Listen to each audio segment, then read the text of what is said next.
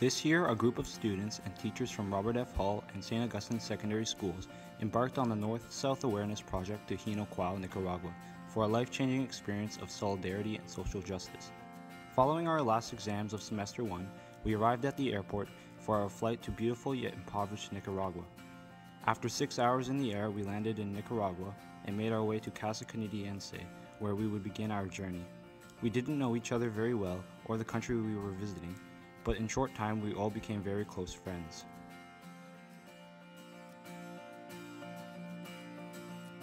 On our first morning in Nicaragua, instead of doing a typical tour of Managua, the capital city, we did an alternative tour. We went around the city looking at the contrast between the rich areas and the poor areas. Sometimes they are right beside each other, and sometimes they are blocked by security and barbed wire fences or cement walls. One second you're in a neighborhood with metal shacks, and the next second you're in a neighborhood with huge houses and three cars parked out front.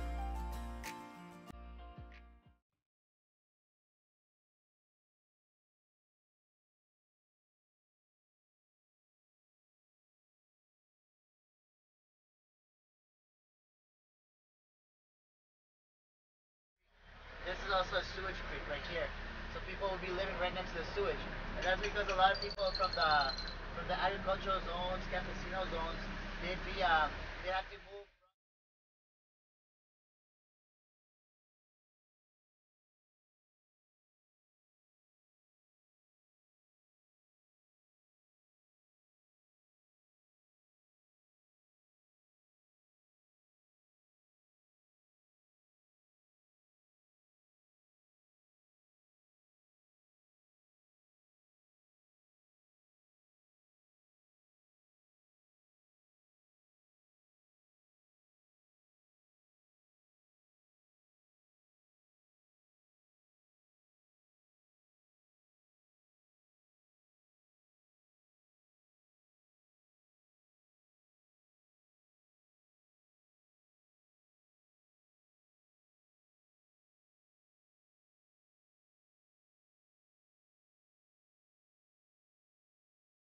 We met Yamilet, an inspiring community leader and activist who grew up and worked in the dump. Her story of how she began to help the other people in the dump to find alternative ways to live and to better their lives.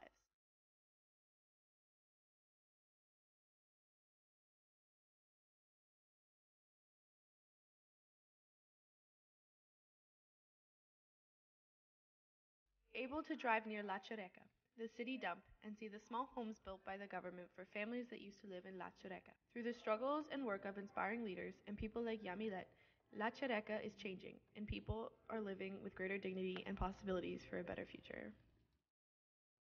One of the many activities in which we participated was the visit to Podcast for Peace. Podcast for Peace is an organization in Managua dedicated to teaching local youth about technology and the importance of speaking out. After an introduction to podcasts and watching an inspirational video from one of their students, we had a chance to play with the local children. During the short period of time, we all befriended the children and we had lots of fun.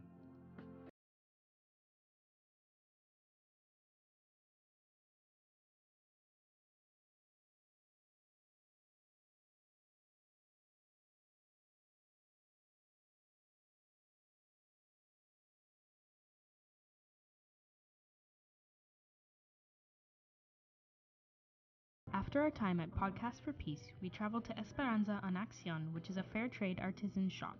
Esperanza en Acción means hope in action, and this shop supports women artisans, giving them a fair and just wage for their work. Yamilet shared with us the stories of some of the women and the beautiful artwork that they create. We had an opportunity to see the amazing artwork and purchase gifts while supporting women through fair trade. We were really able to witness hope in action at work. While we were in the market, we got the chance to explore more of the Nicaraguan culture and way of life. We were given 50 cords, which is the equivalent of 2 US dollars, to buy groceries for a family that would last for a week. To provide, we even needed to barter for better prices. This task proved daunting, and we grasped a sense of what life is like trying to feed a family and the extent of poverty faced in Nicaragua. In order to understand how to resolve an issue, you need to examine the roots of the problem. That is why we had Anne Setright come and speak to us about the history and politics of Nicaragua. 1997. But the Constitution of 1897 is called the the the Majestual. It's the it's the the best constitution, and it's the one that makes it. She put into context for us the political, economic, and historical issues and challenges that face the people of Nicaragua. One of the biggest lessons we learned is that money can't fix all the problems, problems that have taken centuries to become what they are today. We were able to visit one of Nicaragua's many famous volcanoes. It was easy to see how huge the volcano was, even through all the sulfur. The atmosphere was a bit humid, but the view was amazing. Volcanic rock covered areas all the way down to the numerous bodies of water. Nicaragua was truly the land of lakes and volcanoes. Prior to attending Mass in Batahola Norte, we were given a tour around the back of the church. We listened to the history of several murals painted in remembrance of significant events or with symbolic meaning. It was neat to see a section of the altarpiece that had been recreated in our school by students who went to Nicaragua a couple of years ago. As well as celebrating Mass, this church is also a community center where people are taught life skills and cultural arts. On our four hour bus ride to the community of Jiñocuao, we stopped in the historical city of Leon for lunch. Then Angela, the community leader who hosted our school in 2005, met with us in the barrio as we visited the former project. That year, we had helped build a basketball court and clean up a sports field. The community center is now helping people get an education, learn life skills, and art and culture activities. It was wonderful to see how the contributions of years ago continue to grow and develop by ongoing generosity by so many people. We were able to see the fruits of solidarity at work.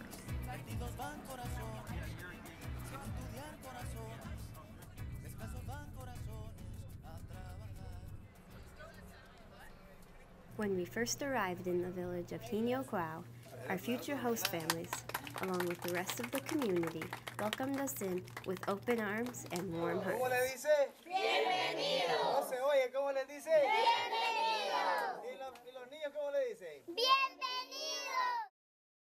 We were all overjoyed to finally end our built up anticipation and meet the families we were to spend the next unforgettable week with. The day after we arrived in Jiñocuao, we started to work.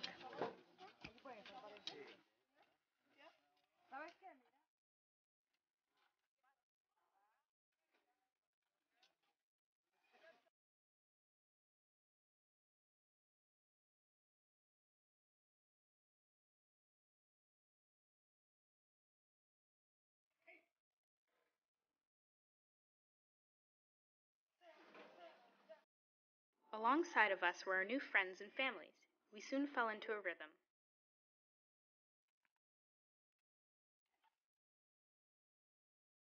Each morning, work would start around 7 o'clock and end at 11.30. We were eagerly looking forwards to helping a new school classroom rise. Everyone took turns using the shovels, pickaxes, and wheelbarrows, making sure we all had regular breaks to stay hydrated.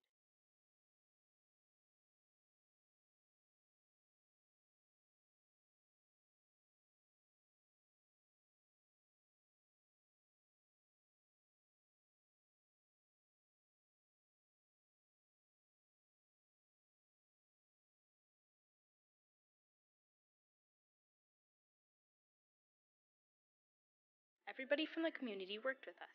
The children were very eager to help and worked as efficiently as we did. The mornings were cool compared to the rest of the day, but they still seemed very hot.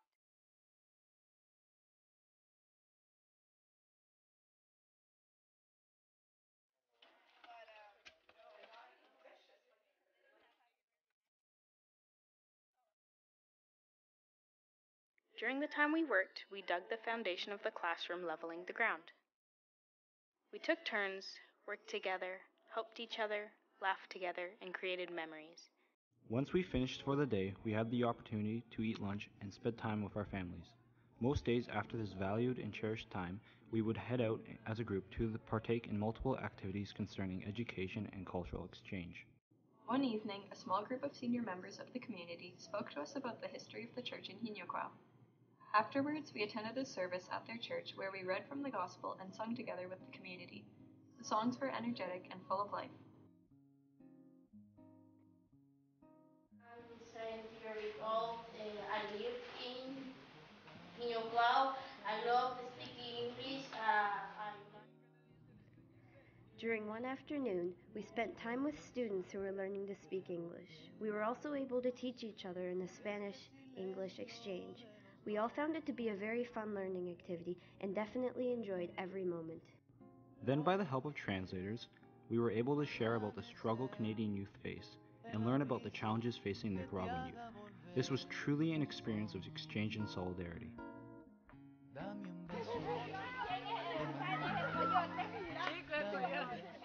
One day, our families hiked with us to show us a nearby river. It was beautiful and refreshing just to look at. The water wound around a series of grassy hills. Walking alongside the river kept spirits high, and time seemed to pass quickly. We visited a women's cashew cooperative. Through the cooperative, women are given an opportunity to move from grave poverty to co ownership of a cashew farm, where they do everything from planting, harvesting, and finally processing and selling the cashews. Many of us saw for the first time how cashews grow. At the processing plant, we were able to purchase cashews to bring back home with us and support the women in sustainable cooperative farming.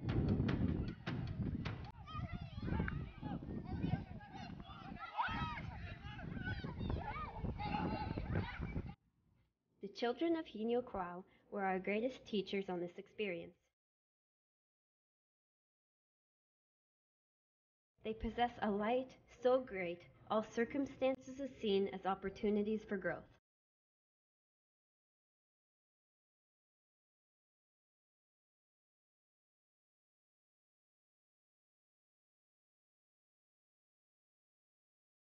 They seemed unstoppable, approaching life without fear, overcoming barriers and challenges. In many instances, they are the caregivers with great responsibilities at a young age. They have much to teach us. Inspired us to persevere and conquer, not only for ourselves, but for the good that we can provide to countless others. The children gifted us with hope and accepted and loved us unconditionally.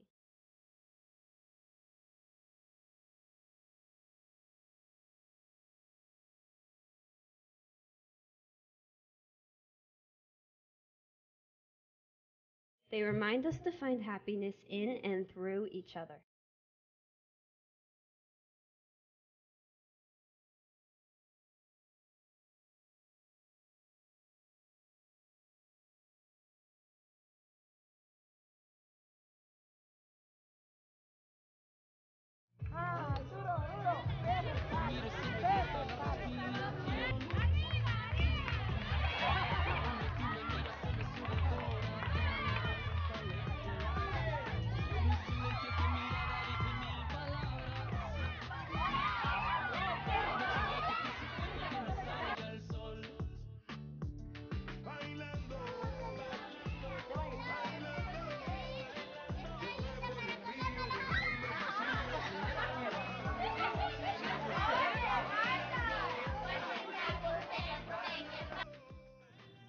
Our final night in the community, we celebrated all our hard work spent on the project. And we pray, Blessed are you, Lord our God.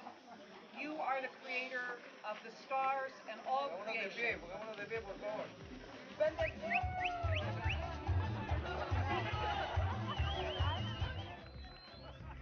During this night, we had the opportunity to watch the community members dance and put on a show.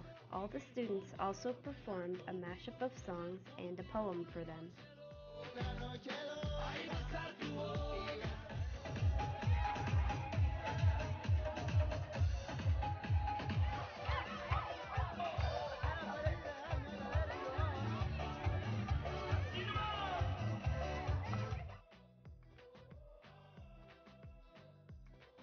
Although this was a wonderful night, we all had the thought at the back of our minds that we would be leaving the next morning and were required to say our final goodbyes.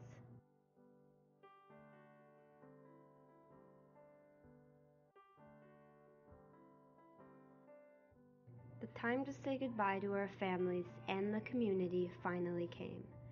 This was one of the most difficult moments over the course of our experience.